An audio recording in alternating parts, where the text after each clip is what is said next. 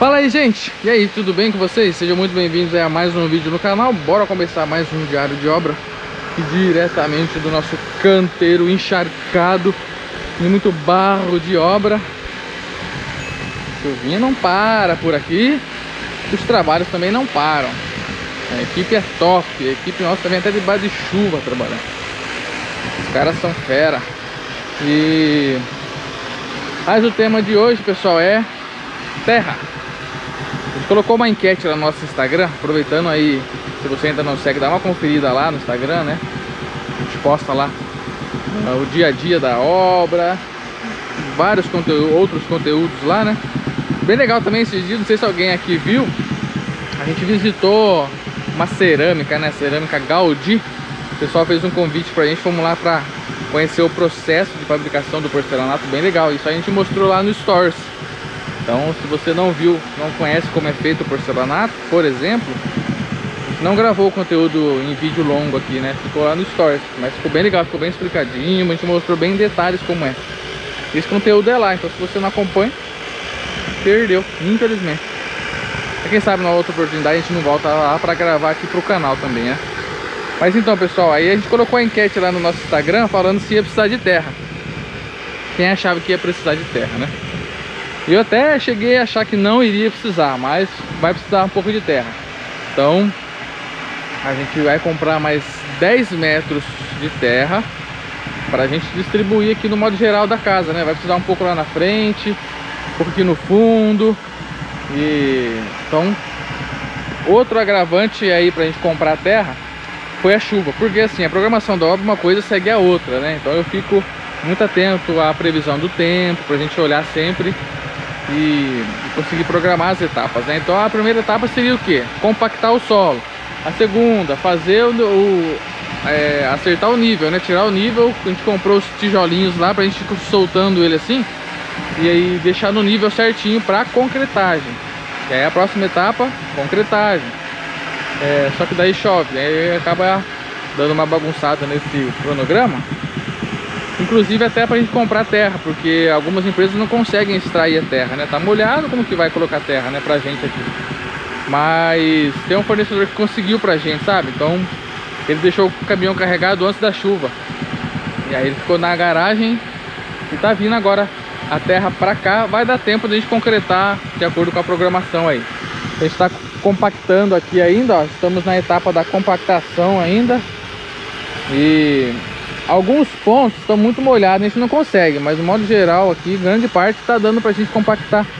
E o bom é que fica muito firme, pessoal. É a hora que isso aqui secar, se por acaso, não vai ser o caso, mas se fosse o caso de ter que tirar um pouquinho de terra, por exemplo, ah, ia dar trabalho. Mas muito trabalho.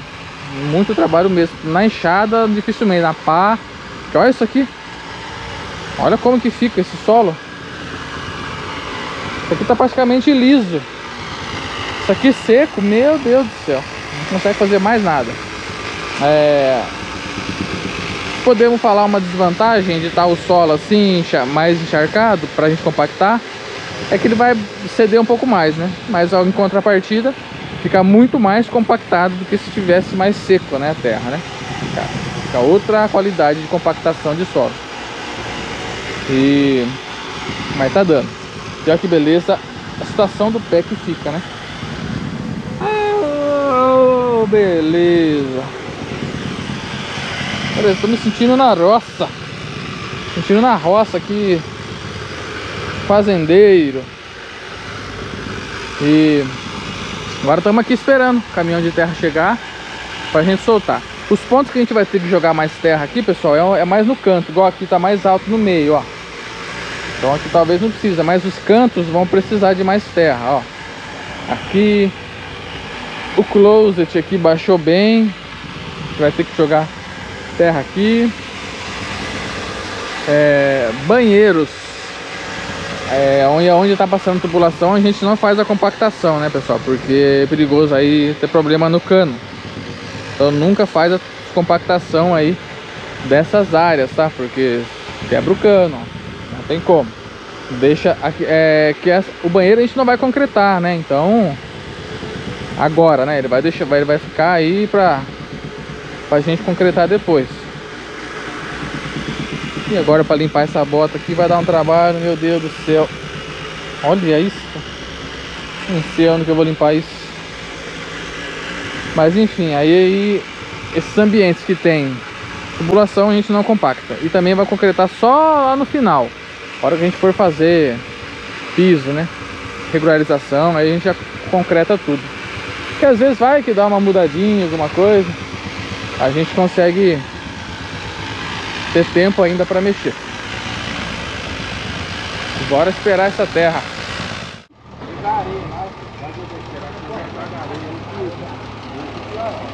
Aí, gente, agora a gente vai jogar a terra aqui. Acabou de chegar o caminhão. Só que tem um pouquinho de... Dando uma patinadinha ali. Sei não. Vamos ver o que, que vai dar isso aí.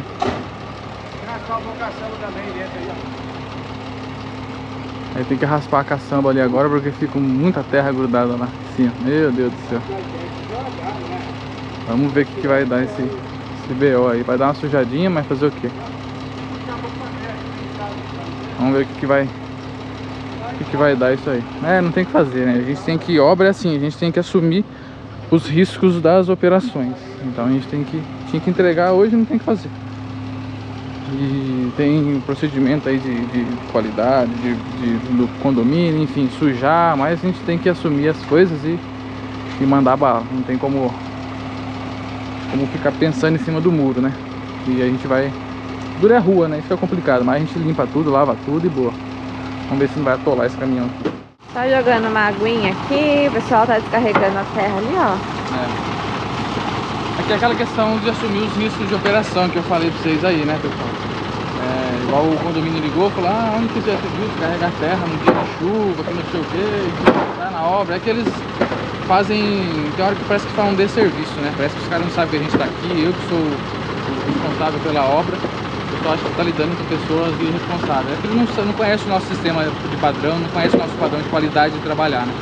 Hoje eu vou fazer é. questão de ligar para ele, falar para ele passar aqui na rua e ver se ficou alguma coisa suja. Mas enfim, a gente vai desconsiderando isso aí porque... Né? É, é umas regras fazendo, absurdas, Eles estão né? fazendo o trabalho deles, mas eu, igual eu falei, eu tenho que assumir, eu tenho que tomar a decisão de mandar entregar, entendeu? Pronto, acabou. Eu tenho ciência que é chuva, que é terra, que é barro, só que assim, e eu me responsabilizo pela obra, não vai ficar sujo. Mas a pessoa não sabe do nosso padrão de qualidade, então a gente releva esse tipo de coisa.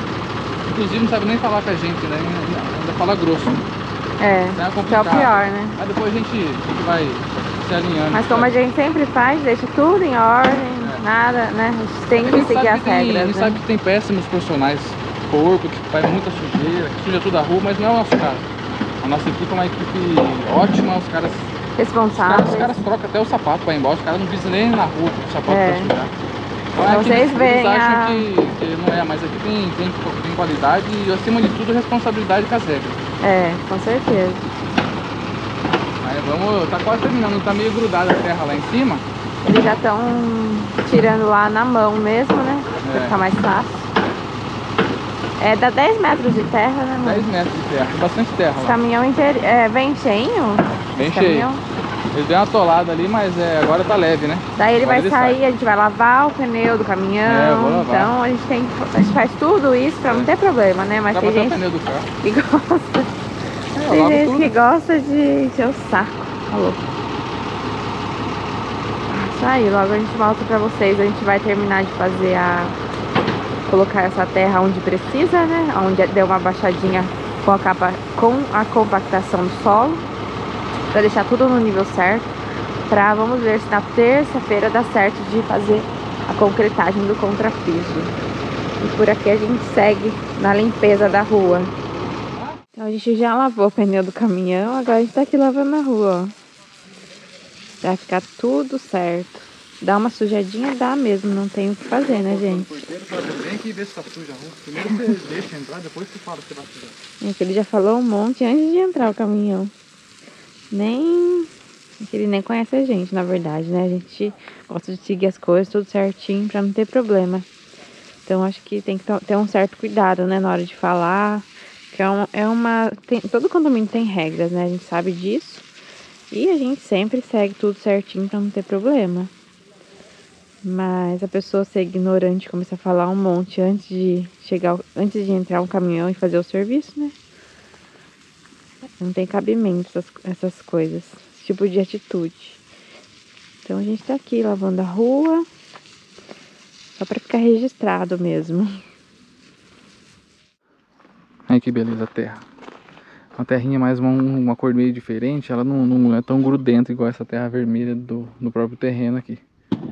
10 metros de terra, agora é só jogar pro meio lá e começar completando os lugares que faltam, né? Depois compactar e, e aí tá pronto.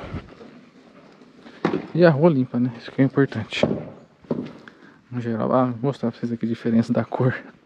Como muda, né? De uma, de uma terra para outra. Olha a diferença. Acho que dá pra ver no vídeo aí. A diferença na tonalidade dela, olha isso. Mas a terra boa, terra limpa, né? Que a gente sempre utiliza aí para não ter problema. Isso é terra limpa, né, pessoal? Jogar terra com mata, essas coisas não, né? Tem que sempre, sempre ter terra limpa. Para quem tem dúvida aí, no preço, 10 metros de terra custaram aqui pra gente 350 reais. Só pra vocês terem ideia de quanto custa aí. O caminhão. Então é isso aí, gente. Vocês gostaram desse vídeo, deixe seu like, se inscreva no canal, ative as notificações aí pra vocês não perderem nada da evolução da obra. A Amanda tá ali, agora eu vou só lavar o pé e partir o escritório, certo? Acompanhe também no Instagram, lá vocês conferirem os conteúdos em tempo real. Então é isso aí, gente. A gente vai ficando por aqui. Espero vocês aí pro próximo vídeo. Show? Até mais. Valeu.